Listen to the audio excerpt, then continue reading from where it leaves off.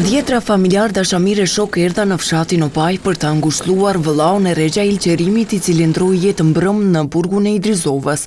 Jetullah Qerimi thotë se padrejtësisht ka vuajtur dënimin për 13 vite me radhë, ndërsa i mërzitur është se nuk arriti ta përjeton rigjykimin. Gjithnjë e ka ni veten jo fajtor, jo fajtor edhe sigurisht se jo fajtor, për shkak se ka pas me qindra dëshmitarë, ai edhe e din gjithë Kumanova, në fund edhe ekspertizën e bamë, e dërgumë atje dhe ja ka një vit na i zvarritin landën.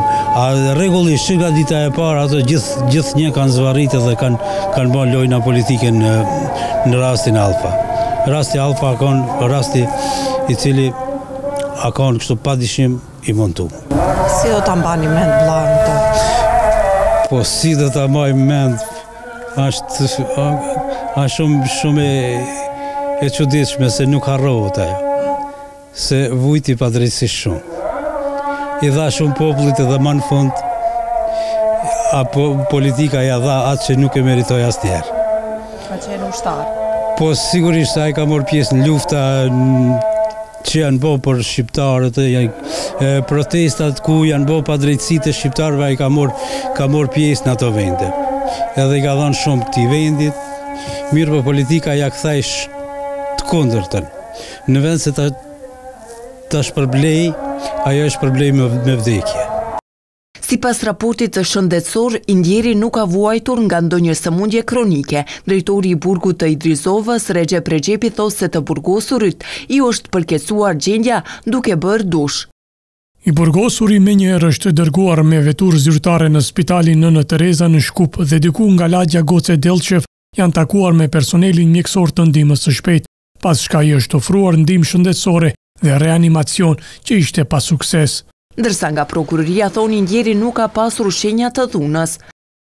Është konstatuar se personi ka pasur histori paraprake të sëmundjes, ndërsa mjekët nga ndihma e shpejtë të cilët kanë qenë të thirrur kanë konstatuar se tek personi nuk janë hasur shenja të dhunës ose gjurmë të cilët do të kishin çuar drejt dyshimit se vdekja ka ndodhur si pasojë e ndonjë vepre penale.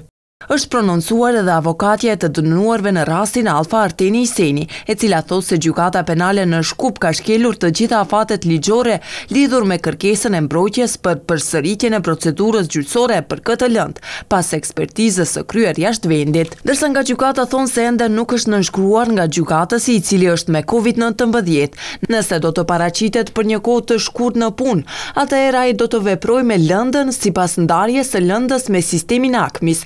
Nëse paralajmëron mungesë për periudhë më të gjatë kohore, atëherë gjykatës tjetër do të procedojë lëndën.